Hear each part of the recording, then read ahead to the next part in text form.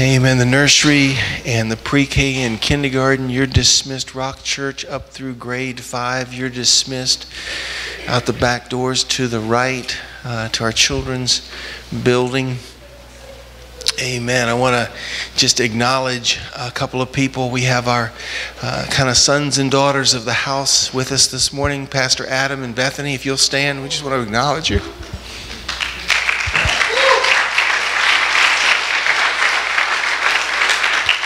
They are planting a church in Marietta, Georgia, and uh, things are going well. I want to acknowledge Pastor Seth and Angela. If you'll stand, there are they're going to be our missionaries.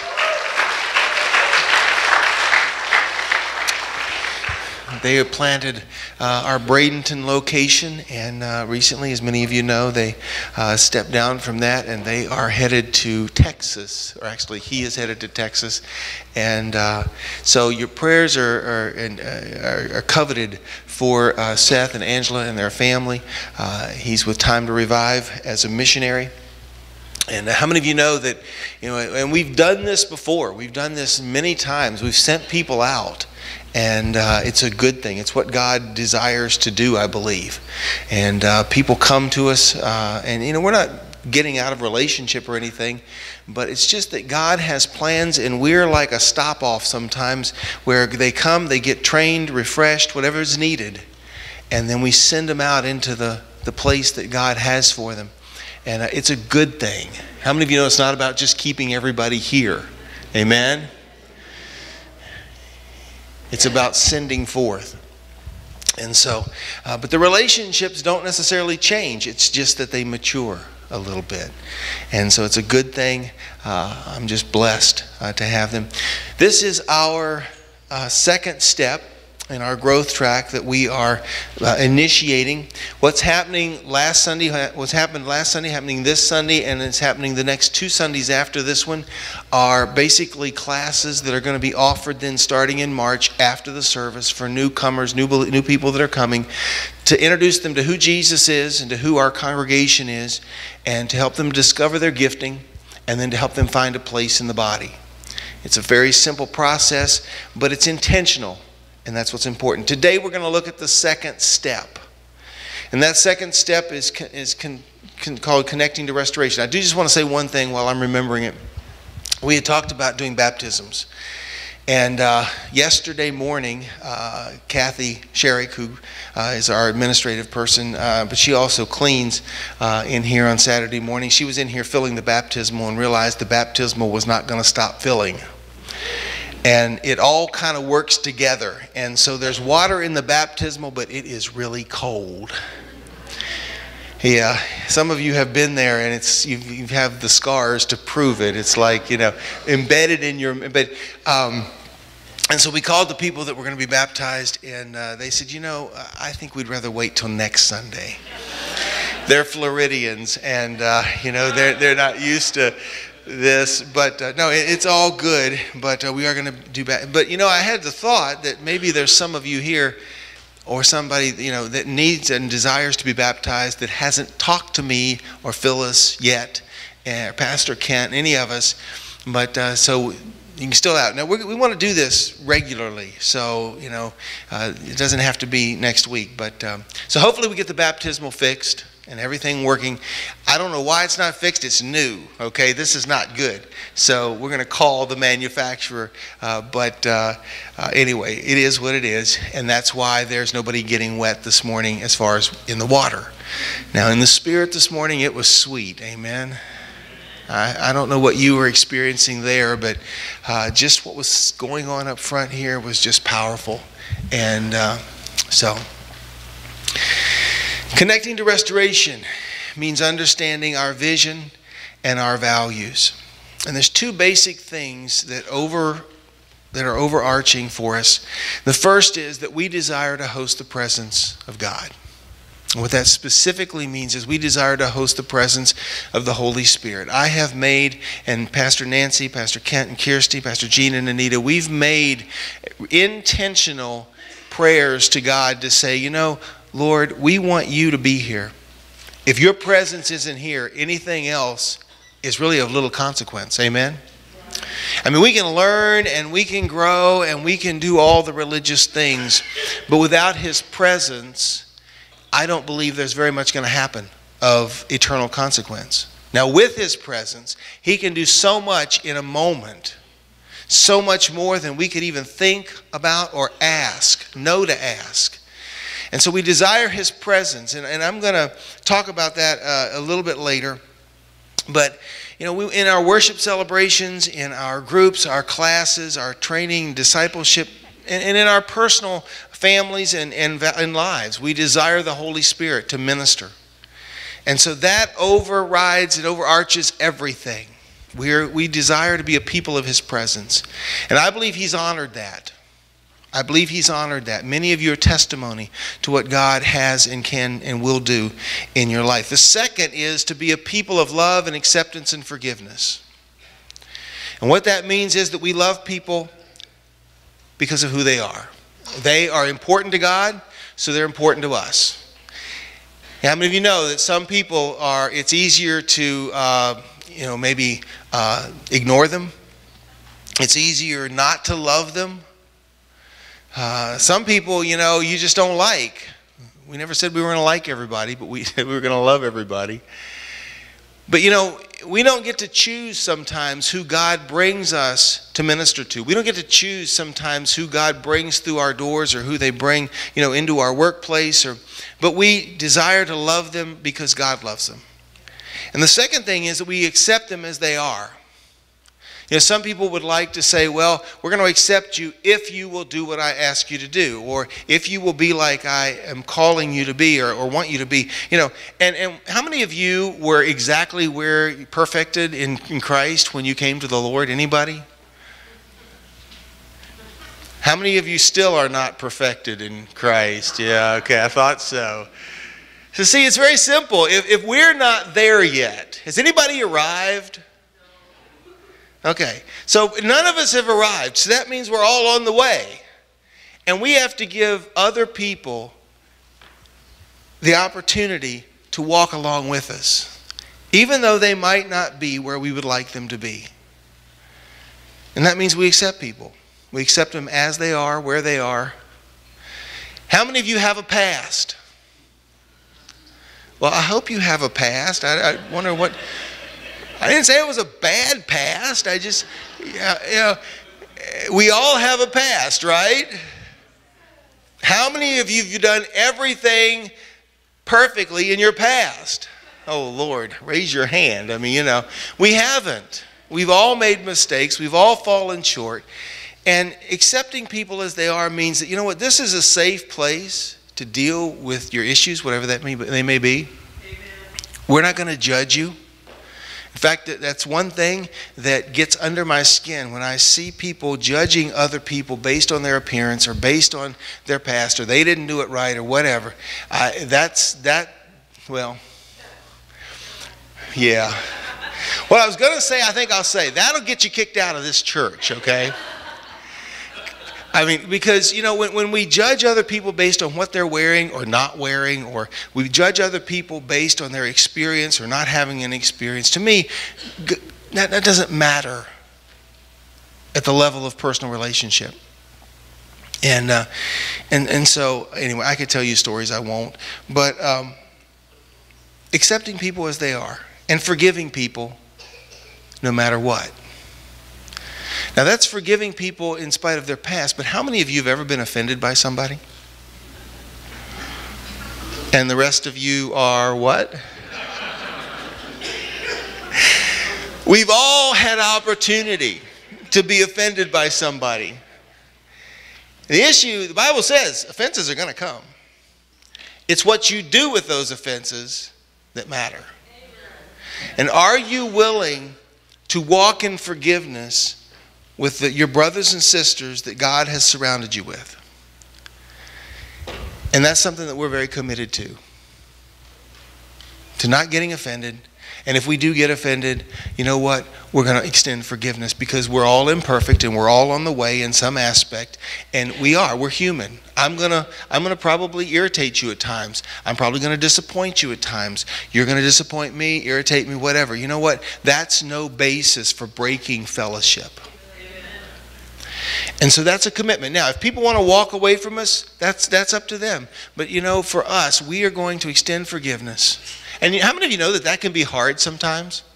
Sometimes you have to swallow really hard, like six times. I mean, you know, it's not easy sometimes because some things are very personal and, and sometimes people are people people can be mean not any of you of course but you know people can be people can be downright ugly sometimes downright unlovable and so that's when the commitment kicks in.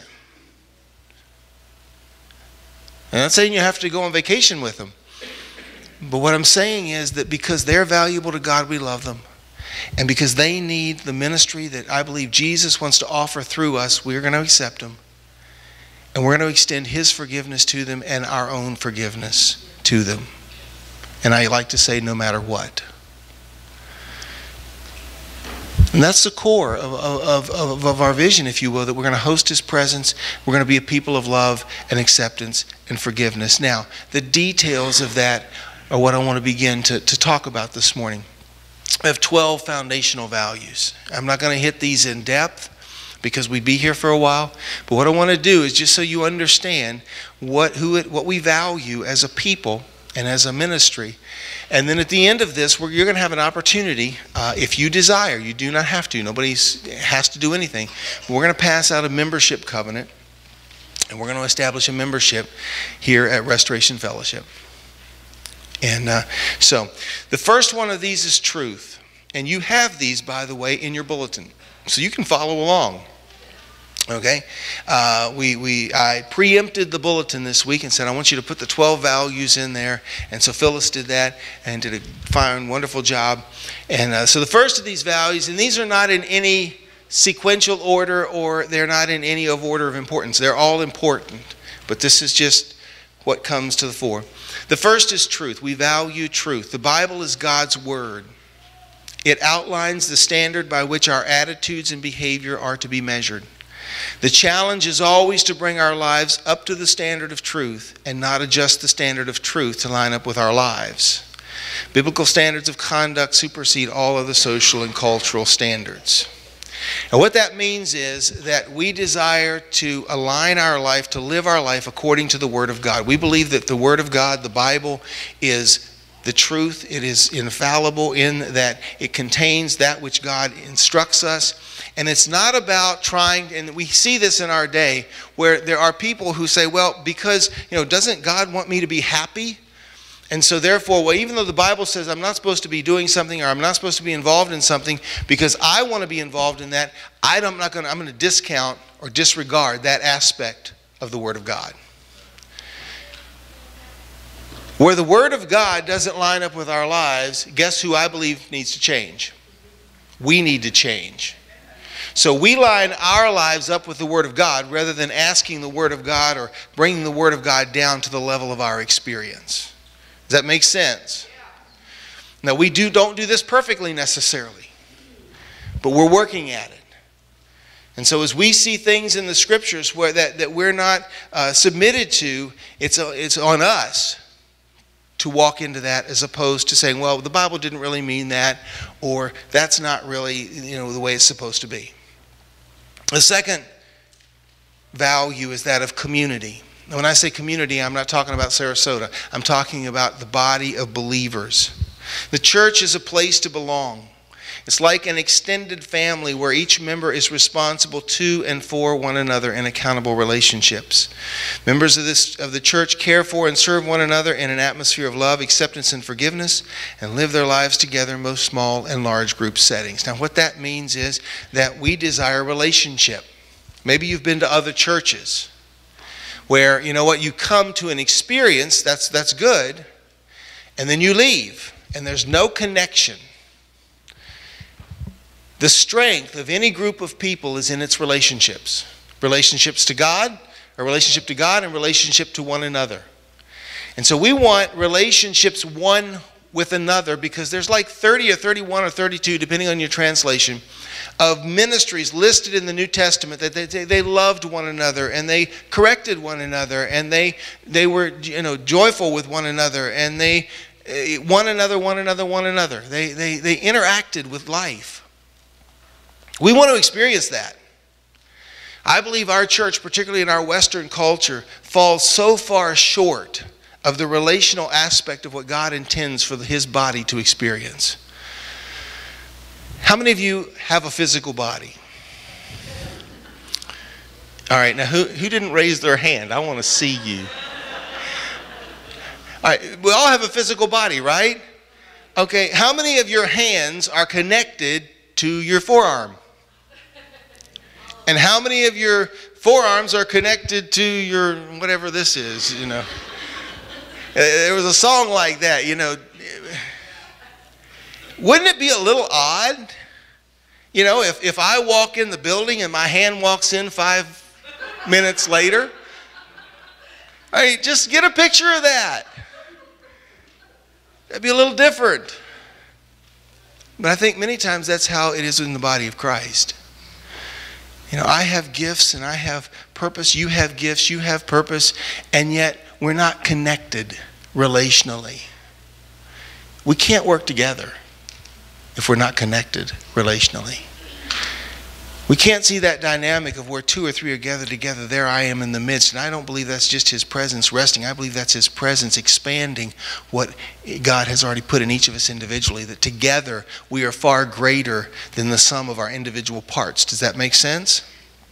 When we work together, we can experience things that, that God can move in our midst and upon us, in us, that we aren't going to experience just because I'm an individual and you're an individual and we're in the same room. It's about relationships. That doesn't mean we have to be in relationship with everybody in this room or everybody in our body, but it means that we have to be connected. We have to be connected relationally. That's vitally important. The third one is leadership. The pastoral eldership team has the freedom and responsibility to lead the church under the lordship of Jesus Christ, who is the head of the church. A presiding elder gives overall direction to the eldership and is responsible to manage the daily activities of the church. Instead of doing the entire ministry, elders are responsible to train and equip people and release them to engage in their callings and their ministries. Now, what this means is that we have a leadership that leads. We have a leadership that desires to hear from God, experience His presence, and say, This is the direction I sense we need to go. As we talk about that, then that gets uh, exposed to the congregation. But together, we do that. In other words, we don't have a lot of committees. Well, actually, we don't have any committees. How many of you have ever been in a church where you had committees? How many of you have ever been in a church that had a committee on the committees? The desire is, okay, well, we want to hear from everybody. Well, I don't necessarily want to hear from everybody. I mean, I love you. What I want you involved in is the purpose that God has for you. Does that make sense? Now, in that context, yes, I'd love to hear from all you, you know, what, what, your, what your thoughts are, your desires are. What I really want is that you're equipped to do and accomplish and experience what God has equipped you to experience. How many of you know it takes a whole lot more than me as a pastor to do the work of the church? That was a little weak. it takes all of us working together to be the body of Christ. And you can take that to the next level. It takes this body of Christ in unity and at peace with one another, connected to other bodies of Christ that are experiencing the same thing, to be the church in a city. And it takes the church in this city connected and unified and at peace with one another to be to be a force in the region or the state. You can just keep going level upon level. But you know, I just kind of sometimes I, I find it interesting that as as leaders, there are many churches that basically they hire a person and then they sit back and that person is responsible to do the work of the church with like 50 or 60 or 80 different bosses telling them what to do. I don't see that pattern anywhere in the scripture. It's a very simple pattern. Paul comes into a community, he establishes a, a work, he appoints elders, and then he leaves and does it again. It's a pretty simple process. And yet it requires trust. It requires trust on the part, the trusting of the Pauls. It requires trust on the, the elders. The elders that were appointed were the pastors. The idea of a two-party system where you have, you know, this, this party and, and, and that party, that, that's, that's democratic, but that's not biblical. And, uh, and so all we, we, we tried to simplify this. Let's centralize the leadership. Who is God set in place as, as, as, as a, a senior leader? And who has he surrounded him with, with with other leaders? And then our job is to equip each of us to do what God has called us to do. And that's our basic structure. Now we have a, an interesting process because, you know, my responsibility is to conduct the daily affairs of this group of people, this organization to make sure things happen, to make sure things get done. But you know, when we have a large decision to make. I mean, if we're just talking about, okay, are we going to take the mail out today or not? Well, just take the mail out. I mean, you know, some, I mean, there are congregations that get together and, and, and have a vote on whether to put a, a, a clock in the back of the sanctuary. Do you want a clock to see what time it is? Put a clock in. Do you not? Don't put it in. I mean, it's not a big deal. But when it comes to something that affects the congregation, the whole of us, for instance, and this is hypothetical, this is not happening. But let's just suppose that we had the opportunity to move east of the interstate or something, and somebody wanted to buy this property. Well, that affects all of us. So, what we would do is that would probably come to me first, just because I'm the point person, and I would take it to our elders. Our elders are Pastor Gene, and Pastor Kent, and Pastor Dan from our Bradenton location, and Pastor Seth when he's around as a, as a missionary. So it's, it's five of us. And so we would talk about this. We have this opportunity to go east of the interstate. What do you think? What do you think God is saying? Let's pray about this. Let's consider this. Let's, you know, take two weeks. And if, if, if, if, if we come back together and we just sense the peace of the Lord on this, then we'll proceed. But if we come back together and they're saying, I don't think so, that I just don't have a, I, that doesn't witness to me, even though I might be gung ho saying, yeah, let's do this, you know, bigger, better, whatever. If this peace isn't in that group of leaders that God has established here, then I, we're not going to move forward with it. But let's say the peace is there. Then we'd get together the leaders, the people that are conducting the ministry, the, the small group leaders, the cell group leaders, the worship leaders, the people that are helping things, the foot soldiers, if you will. And we're going to get them together and say, This is an opportunity that we have. We feel good about it as elders, but what do you think? And we listen. There's a passage in Acts where they, they, they got together, and the Bible says it seemed good to us and to the Holy Spirit to send, and they sent out two from them. And that's what we're looking for. It seems good to us, it seems good to the Holy Spirit. And if we got a peace at that level, we would have a congregational meeting and say, listen, here is what seems to be transpiring. What do you think? And then we'd listen. Probably not going to take a vote, but we'd listen. What are the red flags? What are the good things? We go back together, come back together, talk about it. What did we hear? And then at some point, because I'm the senior leader, I would have to make that decision to say, okay, this is what I'm hearing from God. This is what I'm hearing from our people. This is what I'm hearing from you as leaders. Let's do this. And therefore, the responsibility then rests upon me. Does that make sense? Is that process clear? And we don't have to use it too often because when once the vision is set, you know, we're not arguing about what to do or where to go or you know those kinds of things because it's already been determined. Um, the fourth value is life transformation. Lives are transformed by the renewing of our minds. More than simply knowing about God in the Bible, we must personally know Him in an intimate, transparent relationship where we experience forgiveness of sin, freedom from past hurts, and healing of brokenness in our lives through the life changing power of the Holy Spirit. This is important because all of us have been wounded. All of us have gone through situations that have left us changed. And sometimes when we're changed by the presence of God, it's a good thing. But many times when we're changed by what people have done or done to us, we're changed and our attitudes begin to reflect then the ungodly things that have shaped our lives rather than the godly influences. And so we find then we're responding to people not based on what God would have us to respond, but we're responding out of fear, out of a sense of woundedness, out of a sense of insecurity, whatever that might be. And one of the things that's important to us here is that we find freedom from those things because it's very hard for us to experience all that God has for us to experience when we're bound by those attitudes or bound by those insecurities or bound by those things that are not of God. So it's about uncovering them.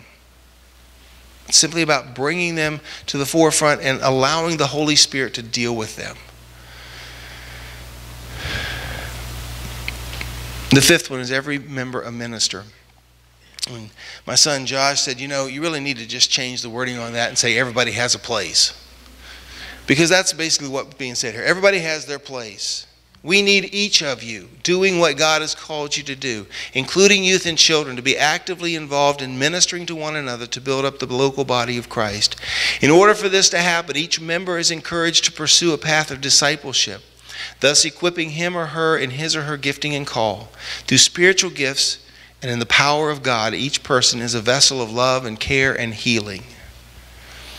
The idea of having a worship service where everybody kind of comes and sits and listens to me i don't think it, i mean there's a part, part of that, that that that is good it's biblical we learn we, we experience things together but this is not the end all this is simply a beginning. My challenge to each of us is that we get involved in ministry with those that God is bringing us, that we get involved during the week, that we get involved in classes, we get involved in cell groups, we get involved in those kinds of activities. Why? Because it connects us as a body. But every one of us has a place. God didn't create any of us to simply sit in a chair. If that's what you're doing, that's wonderful. Have a seat. Hope you're comfortable. But understand that God's call is beyond that, is greater than that.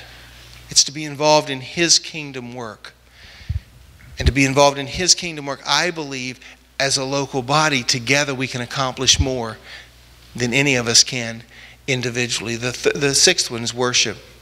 Through worship, we bless God and minister to Him. We praise him for who he is through singing and other worshiping arts, the spoken word. Our worship services include celebration, adoration, proclamation, and exaltation. That's a pattern that God gave to Pastor Gerald uh, back in the mid 80s. It's something that is biblical. The Bible tells us to enter into his gates with thanksgiving and praise. We come into to his, his presence with thanksgiving, with praise. That's why we sing fast, loud songs to begin with. And, uh, and, and, but you know, it, it's, it's about praising God and then entering into worship. Worship is addressing God directly. Very simple. I'm going to get on my soapbox for just two seconds here, if you'll allow me to, because a lot of the worship songs I believe that are coming out today, they're great songs. They're very self me focused. I'm doing this for God. I'm doing this to God. I'm doing this with God. I, I, I. How many know that true worship says, You, O Lord, are holy? You, O Lord, are mighty. You, O Lord, are so high and lifted up and above. And, and, and, and, something happens. There's a dynamic when the gathered body of Christ comes together and exalts Him and lifts Him up. I love the song that we sang today. Thank you, Christy. Be lifted up. Who's being lifted up? He is. Be lifted higher and higher. What does it mean? I don't know, but it's going higher and higher. And you know what? God enjoys our worship when it's lavished upon Him. There's something holy, there's something powerful, there's something mighty when we come together. And I want to encourage us because some of us grew up in traditions where we're not very expressive. I'm under, I have grace for that. I understand that. But I want to I want to I want to challenge us. Let's get out of our boxes. Let's move beyond our past. If you've never lifted your hands in worship, just try it. Decide you're not going to lift your hands, just practice it a little bit. Just say, I'm just going to lift my hand up and put it down and see what happens. You don't need to tell anybody, you don't even need to tell anybody what you're doing. Be lifted up. Oh, man. I'm still alive. All right. You look around and nobody's watching me. Because our worship is, in many ways, it's a very private thing, but it's also a very public expression. And you know what? We just, I just want you to worship. I just want you to, we don't want to experience all that God has for us. Worship is very important. Maybe you've understood that or seen that here.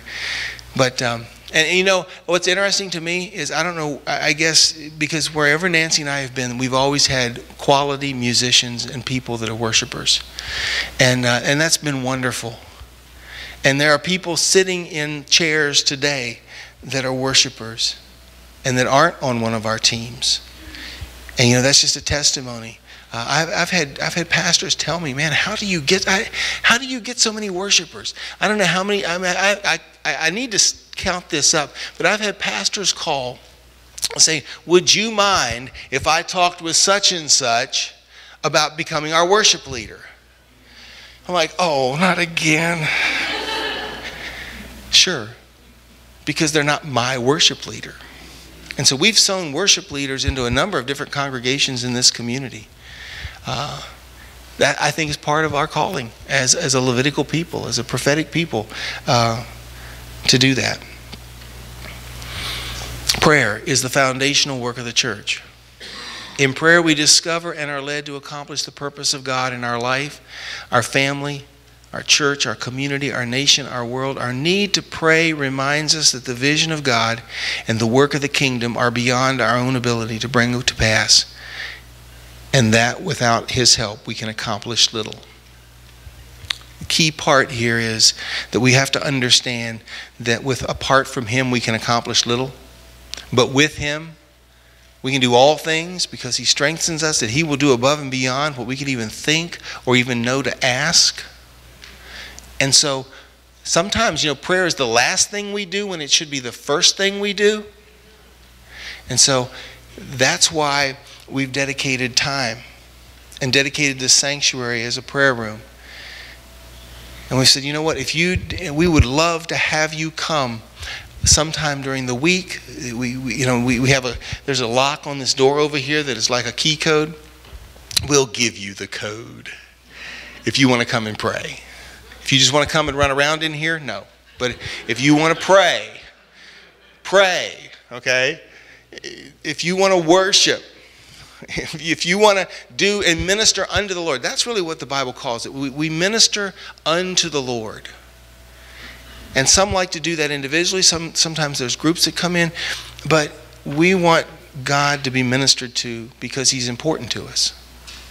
And so, if you'd like to do that, you can see uh, my wife, Pastor Nancy, uh, because she directs our, our prayer room.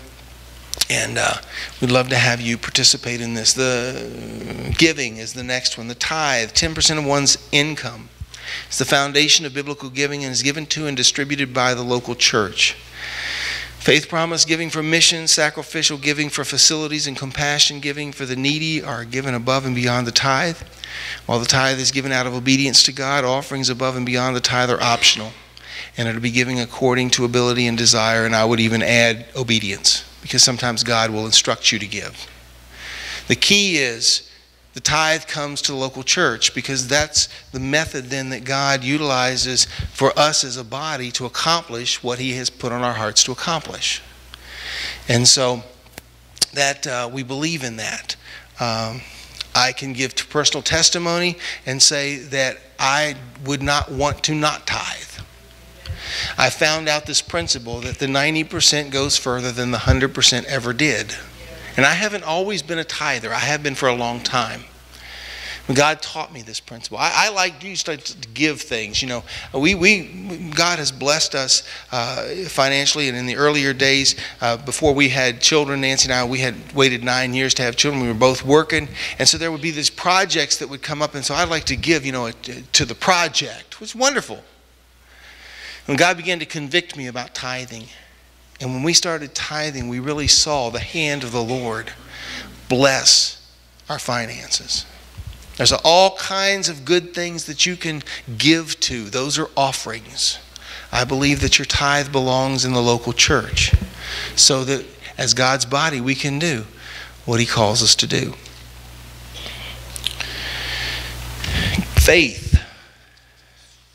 as God's children, we're called to walk by faith, not by sight, being led by the direction of the Holy Spirit and the instructions of God's Word. We therefore value hearing God's voice, obeying His directives, and applying the Word of God to our daily lives. I believe, and I think we have faith to believe, we value the fact that when we do things God's way, we get God's results. When we do things our way, we get whatever results come. They may be good, they may not be good. And so I'm not going to say a whole lot about this except to say that, you know, we believe that what God has spoken in His Word is for today and it is applicable for today. The next one is the work of the Holy Spirit. The Holy Spirit has been given to demonstrate the church to fulfill the purpose and claim the destiny that God has created us for. We value the baptism in the Holy Spirit to enable us to fulfill all that God intends for us to experience and accomplish.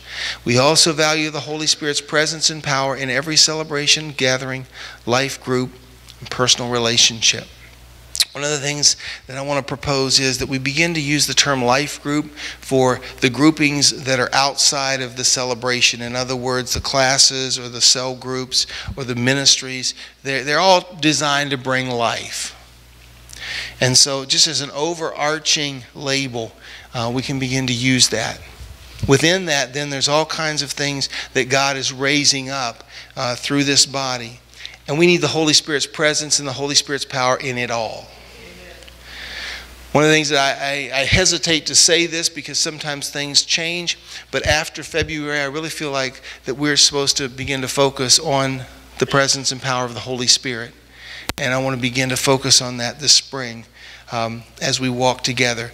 Uh, I believe in the Holy Spirit's power. I believe in, in, the, in the baptism of the Holy Spirit because I've experienced it, but because it's biblical. And I want all of us to experience that. Now, some of you have experienced negative things with that.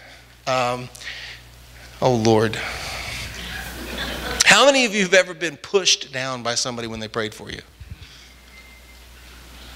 Did that leave a positive taste in your mouth? No. I'm never going to push you down. I don't want you to push anybody down. Because sometimes what people do is they want something to happen, something tangible that they can control to happen so bad that when they begin to pray, that, that you know, that's what happens. And I'm more of the mindset if somebody starts to push me, I'm just going to stand stronger. Maybe you're not like that. Maybe you're accommodating. I guess I'm not. Now, at the same time, if God comes upon you, you may not be able to stand. And I've had that experience too. And so, if God wants to lay us all, if the Holy Spirit wants to lay us all out until 3 o'clock this afternoon, wonderful. We'll wake up and it'll be 3 o'clock. But you know what? I'm not going to make anything happen. And I don't want any of us to make anything happen. I want us to be available for God to use so that He can make something happen. Does that make sense? And so part of this is I want us all to be trained to understand how to minister in the presence and power of the Holy Spirit. I want us, I want, you know, the pastor shouldn't be the only one ministering up here at the altar. You need to know how to minister when somebody comes to you in your workplace and just starts to talk about, you know, I, I man, I got this thing going on in my knee and it really hurts and it's all swollen. And you know, what do you do with that? You know, I got this really cool pastor that I'm going to call and he'll come and pray for you. No, that's, that's not the right answer. You have the power of the Holy Spirit resident in you. So I want us to have the confidence and the faith to be able to say, in those kinds of situations, hey, can I pray for you? Would that be all right? If somebody's got a knee that's bugging them, that's painful, that's, you know, eh, they're not going to turn it down. They're going to say, and they may not know what to do with it. Well, yeah, if you want to. You know, it doesn't need to be this holy thou, oh God, please come upon the knee. I mean, you know, no, it's just, Lord, we release your healing into this, uh, you know, 10 seconds. It doesn't have to be a long thing, but what you're doing is you are becoming an instrument that the Holy Spirit can utilize to touch someone else's life. Guess what happens? You know, God heals that person's knee, and guess the next question they're going to have, answer, ask you? What did you, how did you, what did you do? And then you get to tell them about Jesus which is why the time to revive things that we've been going through this last year is so important because it gives each of us a tool to know how to witness to what God is already doing and to simply bring them in to the next step. The work of the Holy Spirit, so important. Final two, outreach. The main focus of the church is to be outward rather than inward. And the local congregation is the main tool God uses to bring transformation to communities. Reaching out to others is not simply one of the things we do, but the focus of everything we do as a church. Extending the kingdom of God both at home and around the world must be at the forefront of our minds in every decision that we make. I have a confession to make. I am not a natural evangelist. It's not something that comes easy for me. It's not something that comes natural to me. Give me a guitar, give me let me sing, I'll be fine. Put me on the street corner and I just won't say much. That's why Nancy, God gave me a wife that knows how to relate to people and talk, and you know, she just goes into situations and, and you know, and, and it's all good. I go into situations and I hang along the side. How many anybody anybody other people here side hangers? I mean, you know, you just kind of. some of us are just like that, uh, you know, but uh, it takes the whole body to be the body. And I thank God for those people among us that can go and can minister and can talk to people and can relate to people. You have a gift and you are needed in this body. Now, I learned all of us are called to be a witness. Maybe all of us aren't natural evangelists, but we're all called to testify about who Jesus is and what he has done when we have that opportunity. Does that make sense? And so we need to stand firm. We need to understand who we are. And we need to go looking outward rather than looking inward. Restoration Fellowship is not just about a group of people that gets together on Sunday morning and experiences worship. It's about a group of people that are actively engaged in what God has called us to do out there. In our workplace, with our families, where we recreate, whatever it is that we do, we are called to be the body of Christ. And that's what we want to be. The last one is unity. Working together as a local body of Christ is essential if we're to accomplish the task that God has for us. We also value relationships with other local congregations and ministries who are like minded. We also share common vision, values, objectives, and patterns as, local, as a local congregation with a broader restoration network of churches. Glad that. Uh, you know, we, we glad that Adam and Bethany are here, that Seth and Angela are here. It's like there, there, there's this connectedness that happens, and it's, it's more of like a family. It really is. It's like family that gets you know, sent out into what they have been called to do, and yet we come together and, and we enjoy relationship. We enjoy the fellowship. We're able to minister one to another. It's not just about us. It's about what God is doing through this church, through this network. It's what God is doing in the broader body of Christ in this community. How many of you know that unity is important? Vitally important to be connected. And that's a value that we hold to be connected. Now, very quickly, one of the things that I mentioned was life transformation. And what that means is that we find freedom freedom from our past, freedom from addictions, freedom from ungodly thought patterns, freedom from the things that the enemy wants to continue to keep us in bondage to And we want to be a place, a people where those things are broken off of us.